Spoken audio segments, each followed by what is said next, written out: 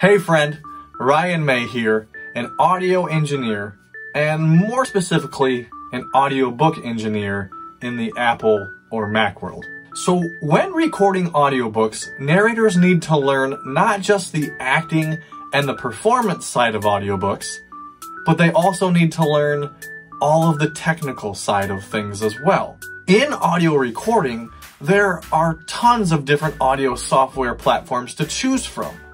But did you ever think of using Apple's free audio software rather than spending hundreds of dollars or needing a third-party program to perform all of your audio tasks? Like recording, editing, and mastering?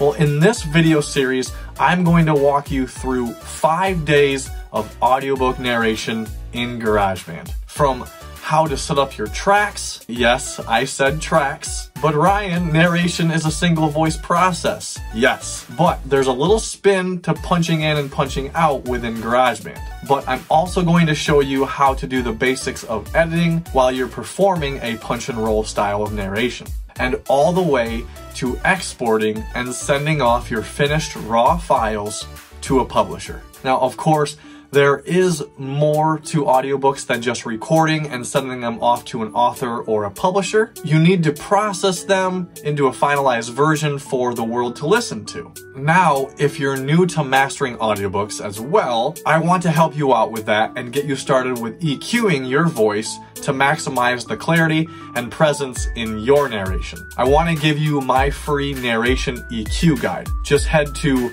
thehomeaudioproject.com slash EQ. It's all for free. Just head to the link here on the screen and I'll also have it linked down below as well. Today, we look at how to actually start recording in a punch and roll fashion. Not sure what punch and roll is? Simply put, when you're recording, you keep going until you make a mistake. Then, you stop, rewind just before you messed up, and listen back to the good stuff, then punch back into the recording. I figured out a way in GarageBand that this can be done, so you don't have to. This one is fun. I'm Ryan May, and this is 5 Days in GarageBand Narration.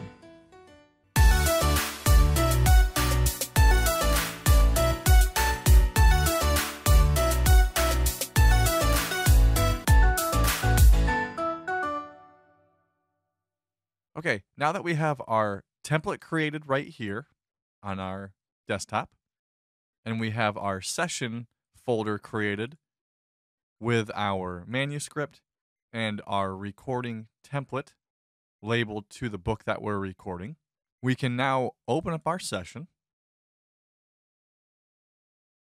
And everything is already set for us. So we've already got the record track highlighted we have our metronome on, but the volume all the way down. We have our count in set.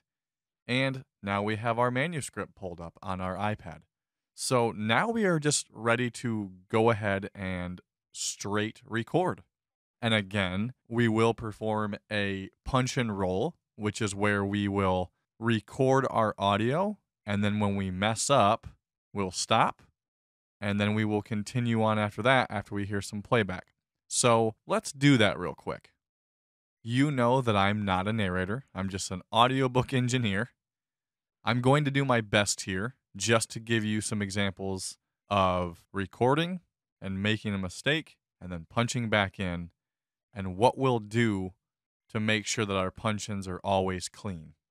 Because I'm not an audiobook narrator, there probably will be lots of mistakes that this will make a perfect example of how you can make a mistake and then stop and punch in and then continue on. Chapter 1 Hot set, people. Hot set. Caitlin. Alone in my real bedroom, I only heard the faraway hum of the air conditioner invade the silence. I missed the Okay. And I've already messed up. So this is what we'll do. Now I messed up right here. So what I'm going to do is then pull this back.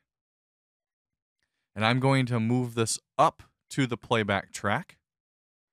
I will put my cursor right at the end of where I just cleaned up. And GarageBand is pretty cool, very similar to Logic, where if you drag your playhead right here on the top, top timeline bar, wherever you edited to, the playhead will go right to that. So now I have two bars set. So my playhead will be going just before the seventh bar here. And that's where my playback will begin. And now I'm just going to make sure I'm on my record track and hit record. Alone in my real bedroom, I only heard the faraway hum of the air conditioner invade the silence. I missed hearing the birds, sure, but even before my mother had finally agreed to install sound dampening insulation and windows in the back guest room, I heard more traffic and. Okay, there's another mess up.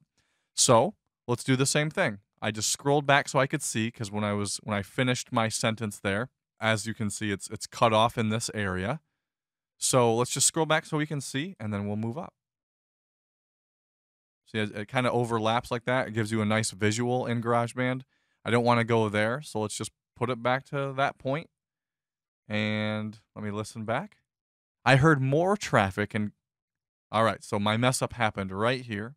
So let's just pull that back right there put my playhead right at the beginning of that spot, and then make sure we're on the record track and hit record.